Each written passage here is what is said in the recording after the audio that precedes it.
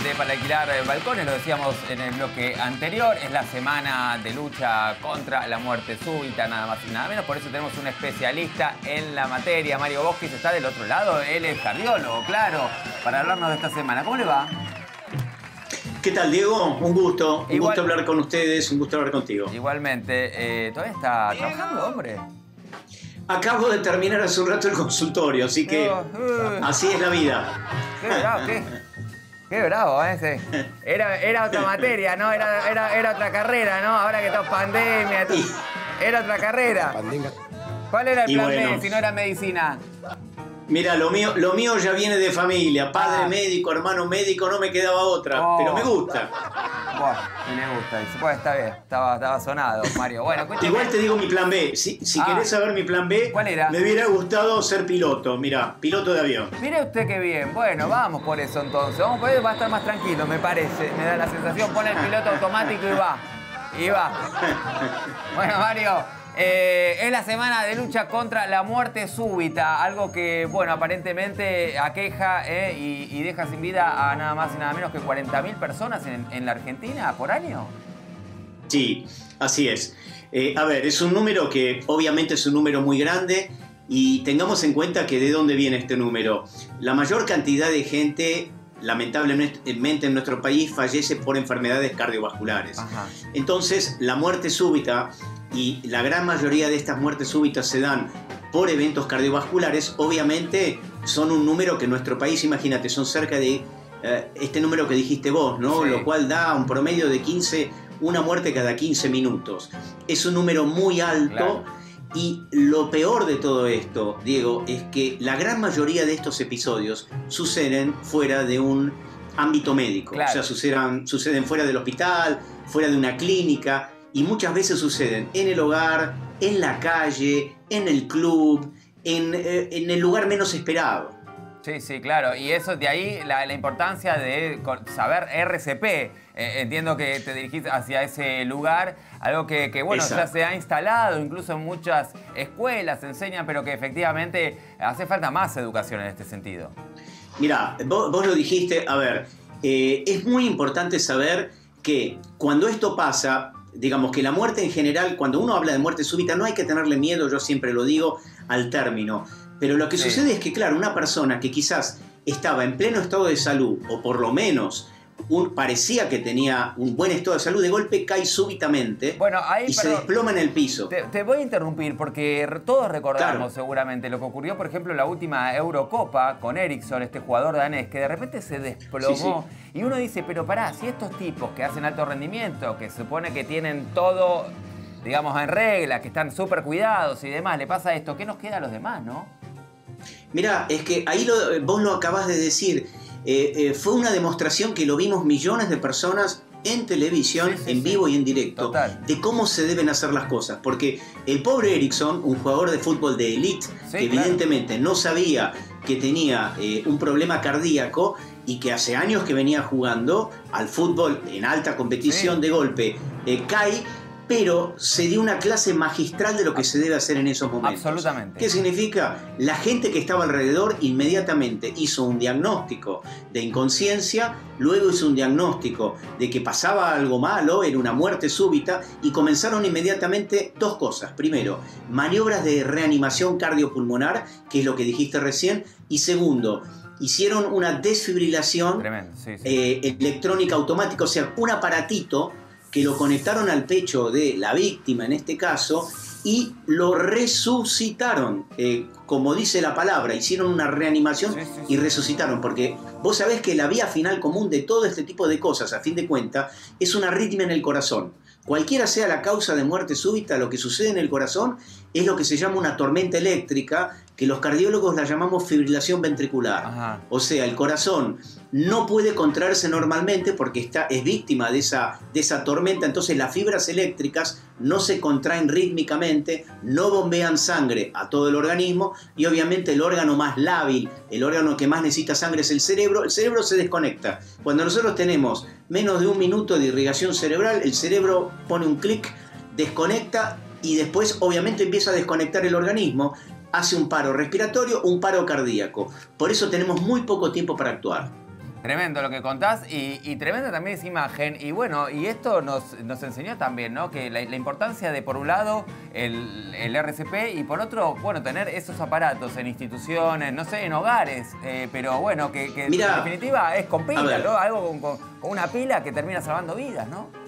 Mira, es importantísimo y a eso va esta semana. Esta semana lo que habla es de la concientización en aprender las técnicas de resucitación, cardiopulmonar. Esto lo tienen que saber desde los chicos, yo lo que digo es de a partir de los 14, 15 años de edad, enseñarlo a los chicos, por ejemplo, en las escuelas, enseñarlo, a ver, de hecho lo hemos hecho desde la Fundación Cardiológica Argentina, que es la encargada de dar cursos a la comunidad, se ha enseñado en colegios, a la policía, a los bomberos, a reparticiones públicas. ¿Por qué? Porque queremos generar rescatadores en lo que se llama la cadena de la vida. Vos imaginate que estás caminando por la calle, no sos médico, pero una persona se te cae al lado tuyo. Vos podés hacer, sabiendo estos cursos, un diagnóstico de inconsciencia. Te acercás al paciente o a la víctima y podés comenzar las maniobras de resucitación, que es simplemente acercarte y comenzar a comprimir el pecho de una manera especial, que se enseñan en los cursos, comprimir en el pecho cerca de 100 veces por minuto y automáticamente poner todo este sistema en alerta llamás a un número de emergencias, al 107, al SAME, depende en qué lugar del país, yo siempre le digo a la gente, miren, ustedes tienen que tener siempre en la cabeza un número de emergencia. ¿Por qué? Porque no sabemos en qué momento nos puede pasar. Nos puede pasar en casa, con un familiar, nos puede pasar con un hijo. Entonces tenemos que estar, esto es como entrenarse y hacer maniobras como si fuesen robóticas. Tenemos que sacarnos de la cabeza este, todo lo que estamos pensando y solamente tenemos que hacer maniobras y pedir lo que vos dijiste recién. Defibrilación eléctrica automática es un aparatito que solo sensa ponemos unas paletas en dos lugares del cuerpo, en el pecho y acá al costadito, y sensa si el paciente o la víctima tiene un paro cardiorrespiratorio, le da un choque cardíaco. Ah, Con esto tenemos una posibilidad. La no la toma uno, sino el aparatito, o sea que no hay ahí riesgo en ese sentido, no hay que uno lo hace cuando no era necesario, que, sería un temor de cualquiera. che, le estoy dando una descarga eléctrica y, por ahí le estoy haciendo mal. Eso no va a ocurrir. no, hay manera de No, no, no. Estos aparatos son, son automáticos hacen ellos mismos la detección. O sea, cualquier persona sin ningún conocimiento de medicina, con el simple hecho de poner los dos electrodos en el pecho, deja que el aparato, y es más, el aparato te habla, o sea, te da, te dice, aléjese, cuidado que voy a dar un choque eléctrico, hay un diagnóstico de fibrilación ventricular, cargando, disparo, lo hace todo.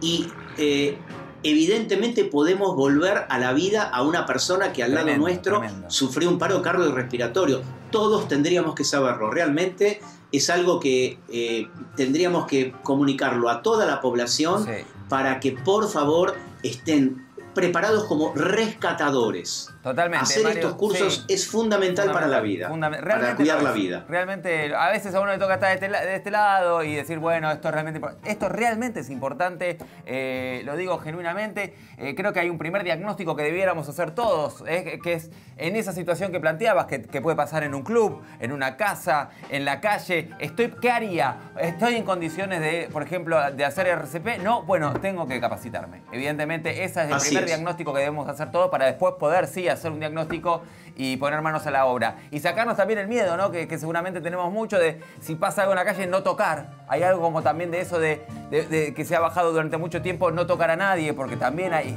Sí. Como que hay un miedo ahí también, ¿no? ¿Qué, pasa si Mira, el tema, vos lo dijiste, digo, es muy importante. A ver.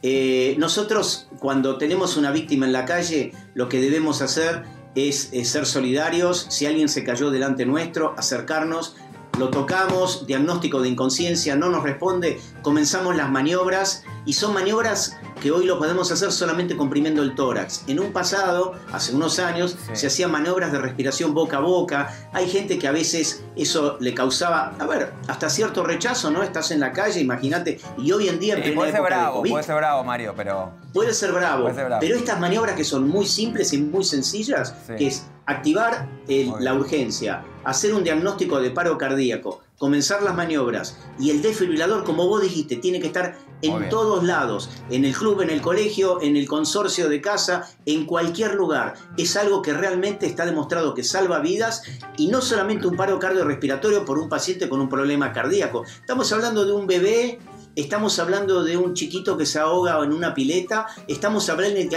alguien que se electrocuta en la calle por un cable de alta tensión.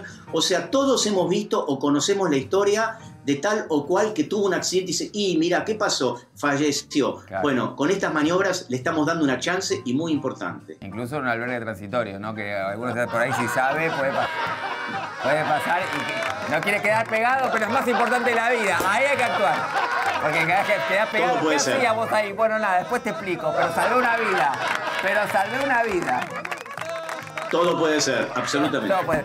Mario, eh, espectacular, de verdad, más allá de cualquier chiste, eh, realmente es muy importante que tomemos conciencia, eh, que nos cuidemos, que también hagamos las cosas bien para prevenir este tipo de, cuestiones, que hagamos deporte, que comamos sano y todas esas cuestiones, que bajemos el estrés, que no trabajemos hasta esta hora, que no trabajemos hasta esta hora. Absolutamente, absolutamente todo lo que vos dijiste, lo primero es la prevención cuidar todo lo que sean factores de riesgo coronarios, el cigarrillo, el hacer actividad física, la comida, este, eh, bueno, cuidar el peso corporal, hacer chequeos y exámenes anuales, cuidar nuestro organismo, así como cuidamos, no es un service anual que tenemos que hacer, así este, eh, sabemos que tenemos un buen estado de salud y en el caso que tengamos que enfrentarnos a estas situaciones, que son situaciones dramáticas, poder actuar y poder ayudar. Me convenciste, Mario, sos un grosso, realmente espectacular. Muchísimas gracias.